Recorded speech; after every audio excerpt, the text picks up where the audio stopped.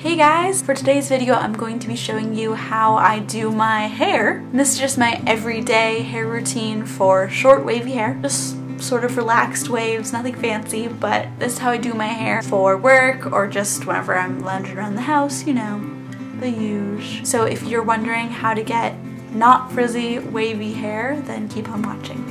So the first thing I do when I get out of the shower is I spray It's a 10 Miracle Leave-In plus keratin, and I use the keratin one because it smells better.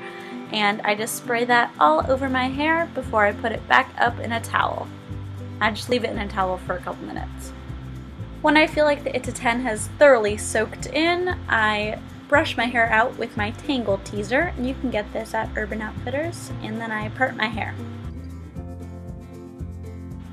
Next I'm going to go in with a quarter sized amount of the Garnier Fructis Curl Sculpting Cream Gel in Extra Strong and I'm just going to scrunch that into my hair being sure to get every single strand. And this will leave my hair in a nice wavy form but not super crunchy or anything like that.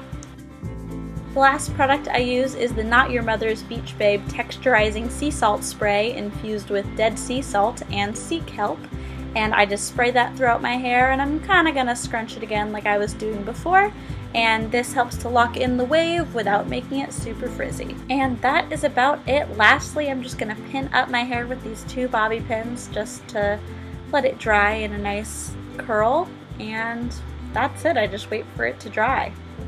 Seriously couldn't be easier. It's just a nice way to get controlled waves without the fuss. And I just wanted to show you a bit of what it looks like when it dries. Just, like I said, controlled waves. Nothing fancy, but just a really nice way to wear your hair.